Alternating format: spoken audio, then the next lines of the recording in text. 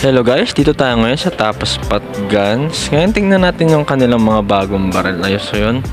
Nakita nyo kanilang mga shotgun, rifle at kanilang pistol. At nagpo sa akin tingin is yung itong rifle na to. Yan, tingnan natin.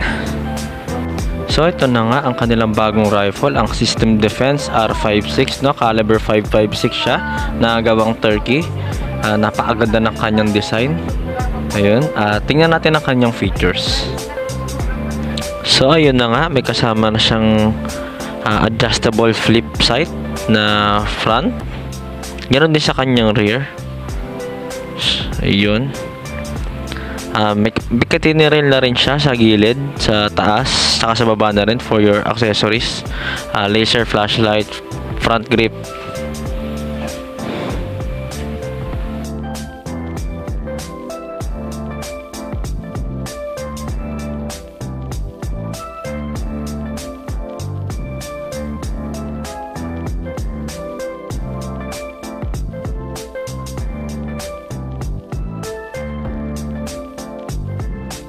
Ito ang kanyang charging handle ang matatagpuan sa kaliwa compared sa ibang rifle na nasa gitna or nasa kanang side. So, ayun tingnan pa natin ba kanyang features. Adjustable buttstock na rin siya, depende sa inyong prepare. At ang kanyang selector na semi and safe lang, wala siyang full auto.